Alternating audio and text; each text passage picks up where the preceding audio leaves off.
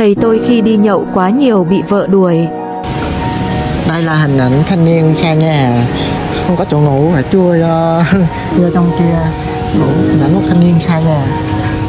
Quá chứ à, đêm đêm thì thức ngày thì lo ngủ. Chui vô mấy cái chỗ góc đấy ngủ không chịu làm gì hết đó thấy không? Thấy cái ngồi à, ngồi không đóng cửa đâu, không cho không cho ai vô ngủ hết. Đóng cửa lại ngủ một mình. Chết chứ.